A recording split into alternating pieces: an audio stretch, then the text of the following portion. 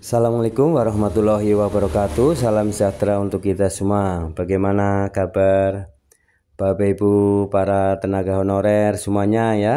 Semoga dalam keadaan sehat walafiat tetap semangat di dalam menjalankan tugas pengabdiannya Dan semoga Bapak Ibu selalu sukses. Uh, Salam jumpa kembali dengan saya dari channel Preno Berbagi yang setia membagikan informasi-informasi dari sumber-sumber yang terpercaya ya. Ini ada informasi dari Kemenpan RB uh, tentang uh, keputusan final ya, keputusan final Menpan RB untuk kategori tenaga honorer ini tetap diangkat jadi P3K 2024 meski melalui tahap tes ya walaupun melalui tahap tes tetapi eh, pasti akan mendapatkan NIP dan akan ditetapkan menjadi tenaga ASN yaitu P3K ya tahun 2024. Jadi sudah ada jaminan dan udah final. Untuk itu untuk mengetahuinya silakan Bapak Ibu ya terlebih dahulu memberikan subscribe, like, isi komentarnya dan ikuti uh, video ini hingga selesai ya. Semoga ini bermanfaat dan bisa uh, memberikan gambaran yang jelas ya kepada Bapak Ibu para honorer semuanya. Mari kita simak bersama informasi selengkapnya ya. Ini dari Kemenpan RB. Dari lengkongayobandung.com keputusan men final ya. Menpan RB kategori tenaga honorer ini tetap diangkat menjadi P3K 2024 meskipun melalui tahap tes. Diketahui tenaga honorer akan segera eh, diangkat menjadi P3K oleh pemerintah sesuai dengan amanat yang tercantum dalam Undang-Undang ASN 2023. Menurut Undang-Undang ASN 2023 ya. E, nomor 20 ya. Bahwa pengangkatan menjadi P3K merupakan salah satu upaya dalam penyelesaian masalah penataan tenaga honorer. Jadi jelas ya Bapak Ibu, dengan diundangkannya ya Undang-Undang Nomor 20 Tahun 2023 tentang ASN maka ini ada jaminan ya kepastian bahwa tenaga honorer ini akan diangkat semuanya menjadi tenaga ASN ya baik P3K maupun PNS ya.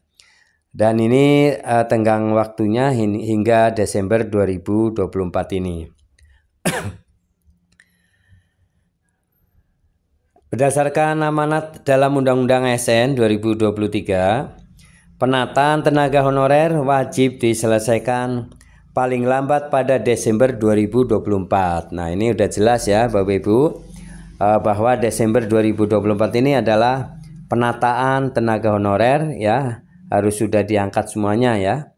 Baik P3K eh, full time maupun part time ya. Artinya eh, paruh waktu maupun full time ya atau penuh waktu ya.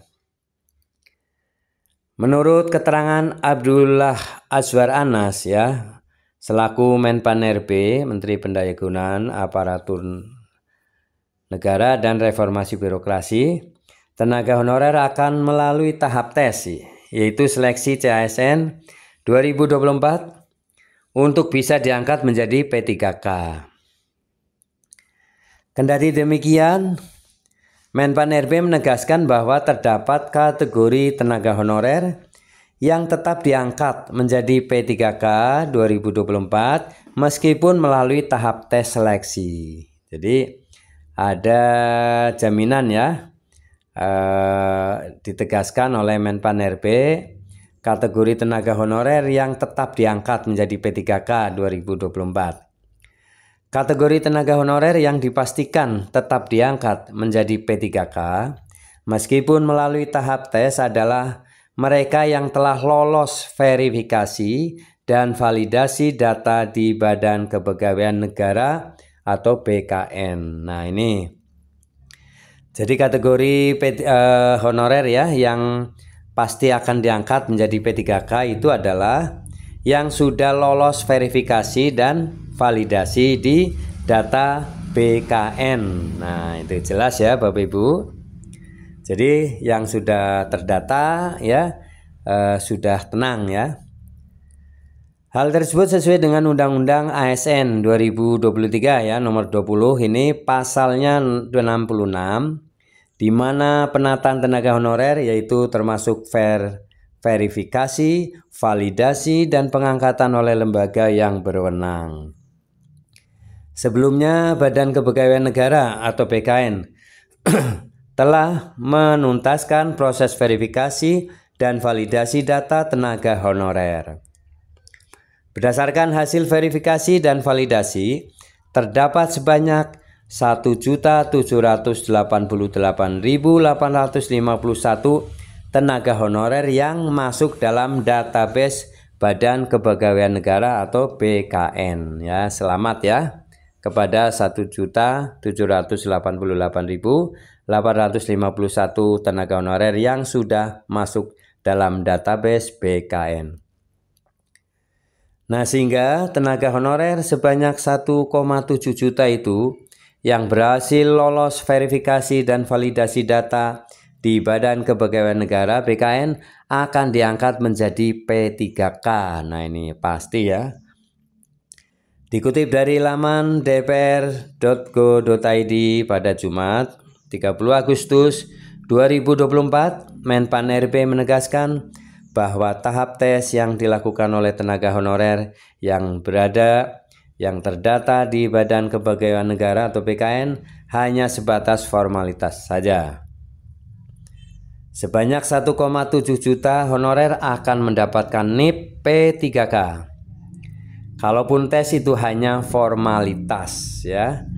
Ujar Anas. Nah, ini berarti Bapak Ibu ya yang sudah masuk dalam database BKN yang sudah terverifikasi dan tervalidasi sejumlah 1,7 juta ini ya sudah dipastikan akan mendapatkan NIP ya P3K walaupun hanya uh, walaupun harus mengikuti tes jadi tesnya hanya formalitas saja namun yang tidak terdata uh, masuk dalam 1,7 juta ini tetap harus mengikuti seleksi tesnya harus benar-benar ya